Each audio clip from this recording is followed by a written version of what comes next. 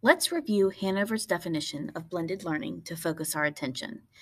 Hanover County Public Schools defines blended learning as a combination of online and face to face instruction that gives students some control over path, place, and pace.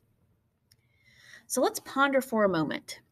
Does showing whole group videos provide students some control over path, place, or pace? Really think about why you show whole group videos. Now, prior to Chromebooks arriving, oftentimes we had to do it out of necessity because of our limited access to technology. Kids didn't have that consistent access. Maybe we were even limited on time. Now, we all know how valuable videos can be. Now we're one to one. With devices in the rooms at all times, now we can ask ourselves is showing a video whole group really the best way? Is your reasoning grounded in research and best practice?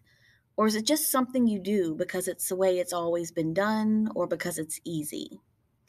You must ask yourself Am I able to gauge student learning when showing whole group videos? Now, interactive videos is just one way to transform learning and give students opportunities that they haven't had before in our classes.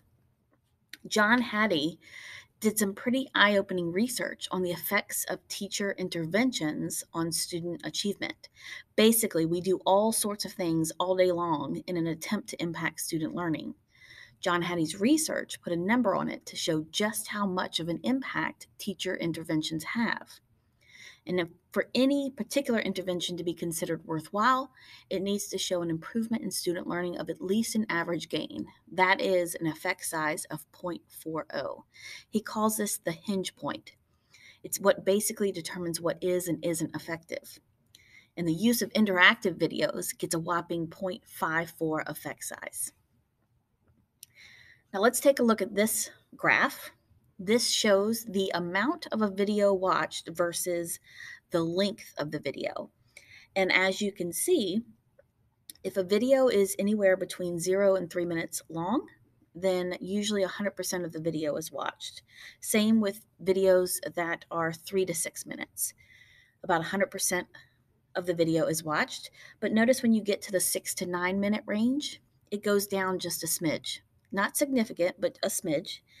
And then we see if a video is from in the 9 to 12 minute range or even the 12 to 40 minute range, videos do not get watched.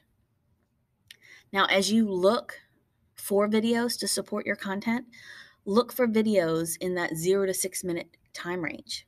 Remember student engagement. When designing your lessons, consider changing up what you have students do every 10 minutes or so to keep kids engaged. And think about breaking up your videos into more manageable chunks. Have them watch a short segment, then do something with that content. Then they can go back to watching another short segment. Don't make them sit through really long videos without engaging their brains.